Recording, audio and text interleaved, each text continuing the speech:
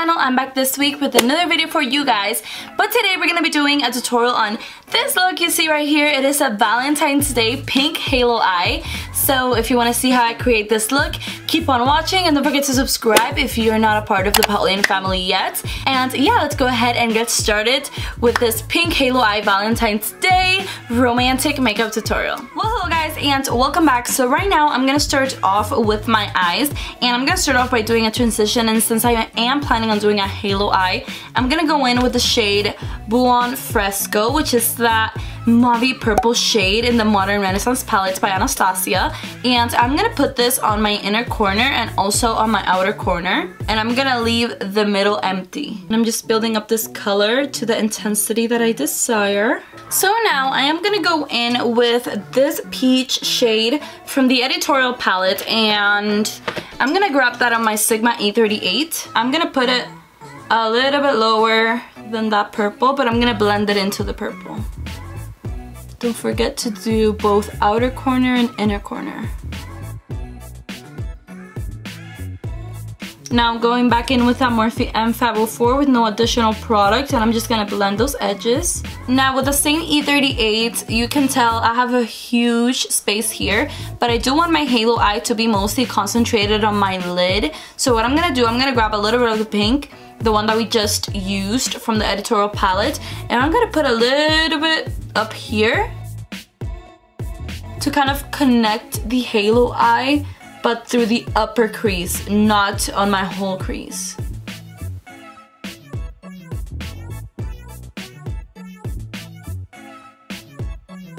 now going back into the M504 no additional product just blending now with the same Sigma E38, I'm gonna dip into these two colors from the editorial palette.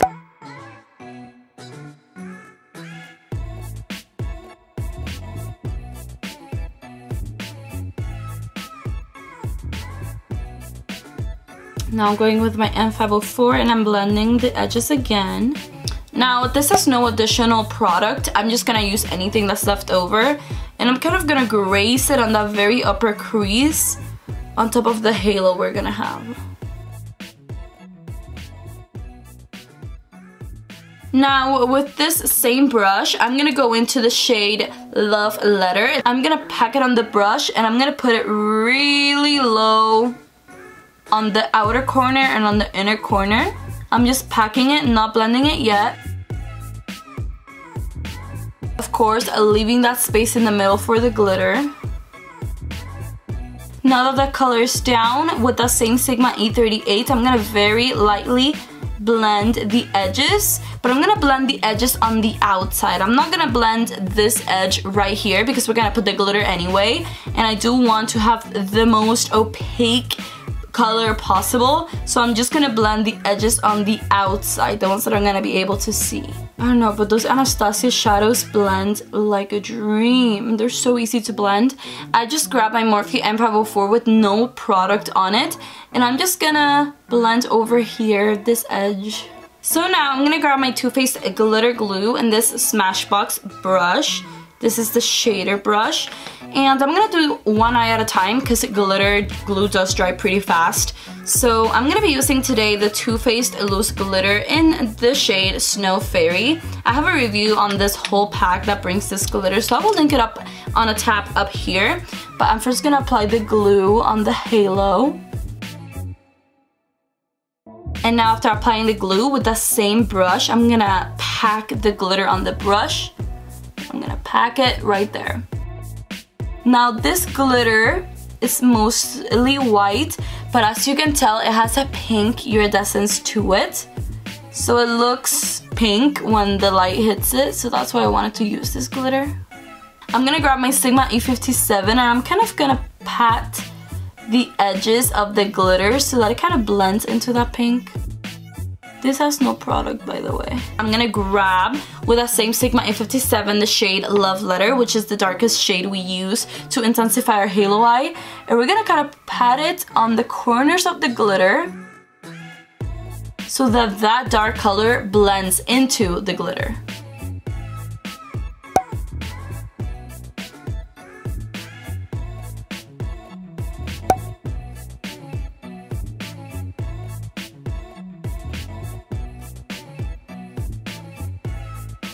And now I'm gonna go back into my Sigma E38 and I'm gonna grab some more of the shade Love Letter the pink we've been using and I'm gonna place it kind of on the socket of the crease on both sides of the halo eye to re-intensify that pink. Just blending the very upper crease. So now, since I do want the glitter to blend a little better into, you know, the mattes that we have, I'm gonna go into this Rose Quartz shade. It's like an iridescent pink, a duochrome from the editorial palette. I'm just gonna pack it where the glitter meets the matte. I'm just gonna pack it here because this shadow blends better into a matte than a glitter. Going back in with that E57, blending the edges of that duochrome. Okay guys, so that is the halo eye done. I am gonna now do the halo eye on this eye and I will be back to do my brow bone in inner corner with you guys. Okay, so now that the middle of our halo eye is done, I am gonna grab this highlighter shade, the pink one from the Carli Bybel palette in my Sigma E57 and I'm gonna put this on the inner corner and on my brow bone.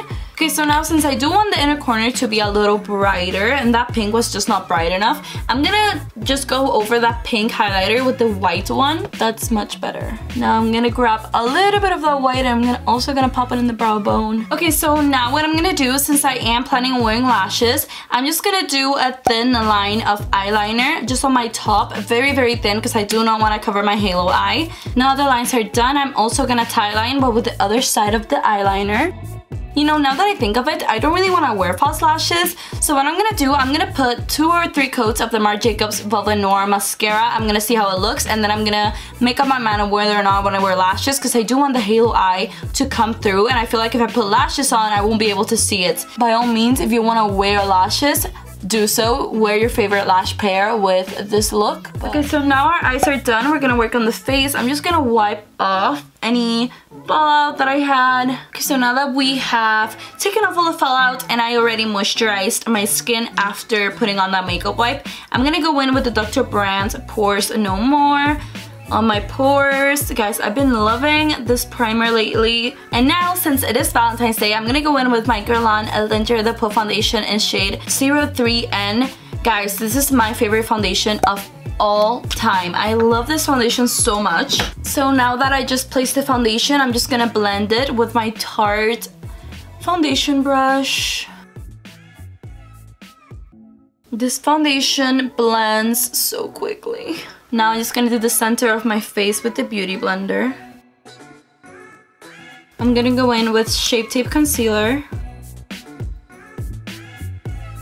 Just bouncing it in with the Beauty Blender.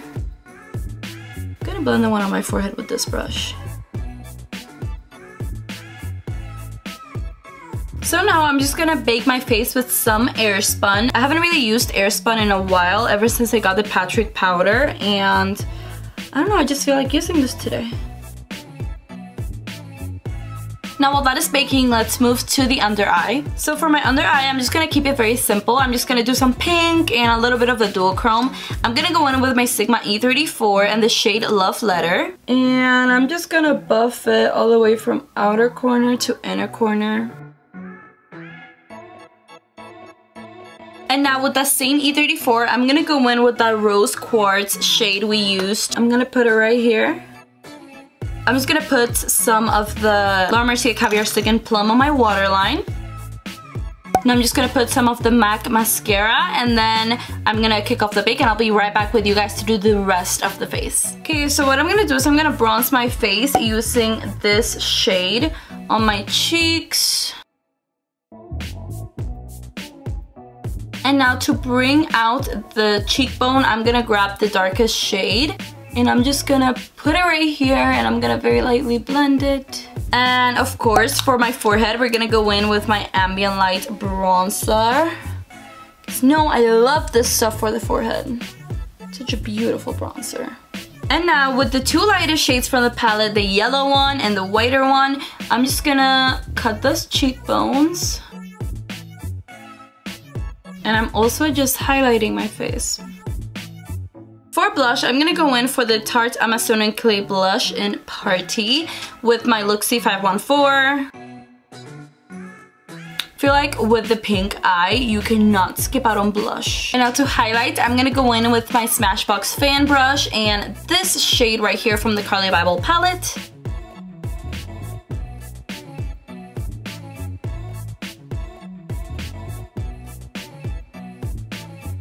So now for lips, I'm gonna go in with the Anastasia Beverly Hills Matte Lipstick in Buff.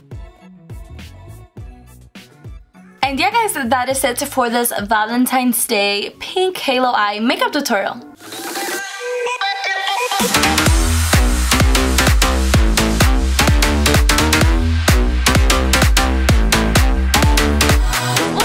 That is it for this tutorial. Thank you so much for watching. Don't forget to like this video and subscribe to my channel before you leave. And I hope you like this very romantic and smoky and pink and perfect for Valentine's Day makeup tutorial.